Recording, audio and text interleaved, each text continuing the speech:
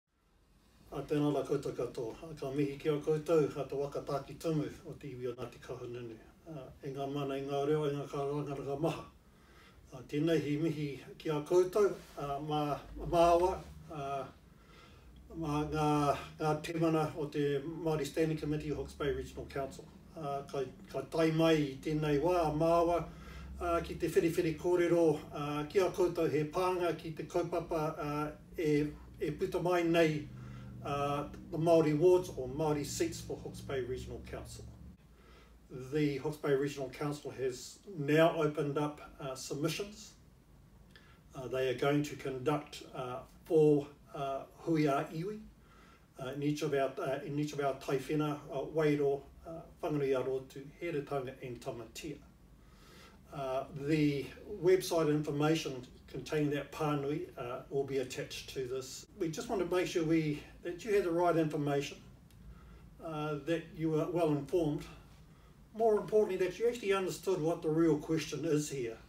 And the actual question, there is really only one question. Do we actually want Māori wards or not? Do we want to have um, representatives at that table whose sole purpose is to put the view of Māori forward without having uh, to curtail what they have to say uh, because they're part of a general uh, electoral seat. So therefore, if you like, having to take into consideration the views of, of that wider constituency. It's time that our voices became more than just voices, that our aspirations uh, moved from aspirations uh, into policy and became uh, strategy of uh, part of the strategy of the Hawke's Bay Regional Council going forward. Whitehall have had Māori uh, wards or Māori constituencies uh, over this last electoral term. Half, uh, sorry, five of the councillors there are of Māori descent.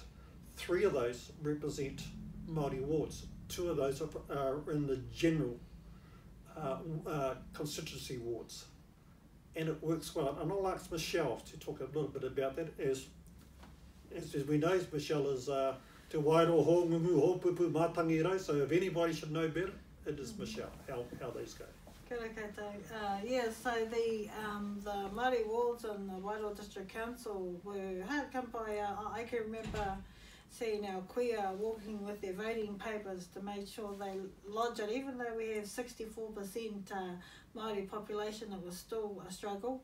Um, but we, we got it, and this is the first time we've had the, um, the uh, new councillors in place. There are three uh, that are from the uh, Māori seats, and um, we also were lucky to get two in the general seats so five of the seven councillors are Māori uh, Māori descent. And, uh, and within the mix of the uh, the three uh, Māori electoral uh, voted uh, councillors, uh, one is Mana Whenua and two are um, Tairahiri. Um, but they hononga into our people, so they're tamariki aori of Ngāti Kāna ki te Wairo.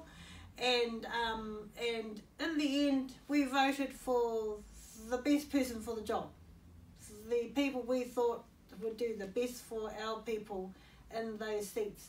And that's what it's all about.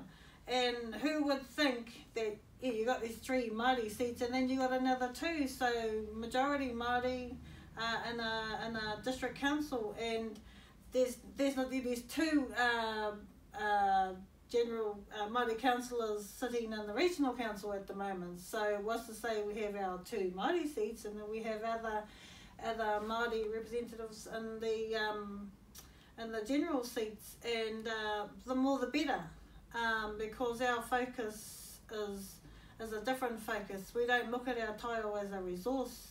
We look at it as a tepuna uh, that we must look after and have a responsibility to. So um, our focus is different, and, and it's and it's very difficult to be there as basically a treaty partner when you're only in an advisory role. So we can advise as much as we, we like on behalf of Tangata Whenua, but in the end, the final vote sits with the councillors. So if we really want to have that say and to make that change, our people need to sit there as a partner and, and, an equal, you know, have equal rights. And we don't have that at the moment. Um, and it's, it's, yeah. it's not a, not a good position to be in mm. sometimes, Mike. Mm, okay. Mm. Um, I, I know that there's, there's been times that we've uh, advised against um, a particular motion, um both myself and Mike and the RPC representative, um, which, which is uh, he, who is there on behalf of the post-settlement governance entities throughout Te Mātara Maui and still we're ignored. Um, so yes, um, it's about you getting to that, um, um, putting in that submission, whether it's in a written form or online, uh, going to the regional council site and doing an online submission. And if you can also come and speak to your submission, um, please turn up to the hui at the Tai Whenua and each of our uh, areas and, uh, and have your say.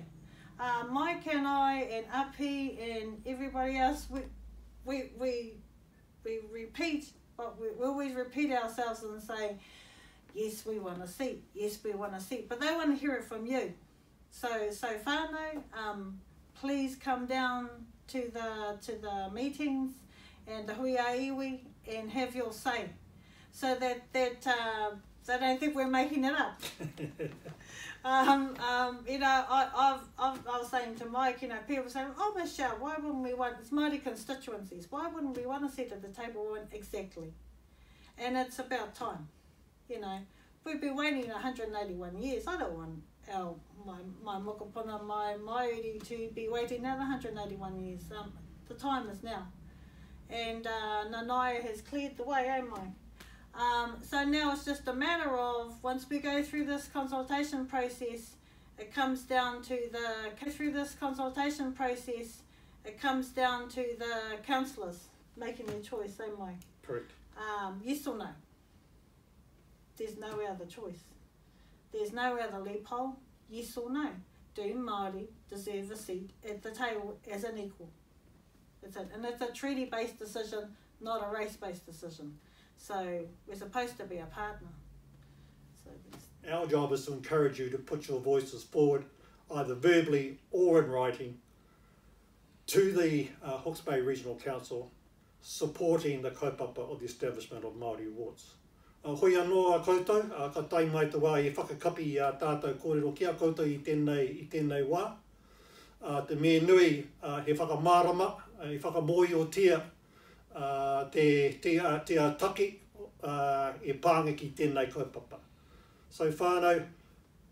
we, don't wanna, we do not want to labour on on this.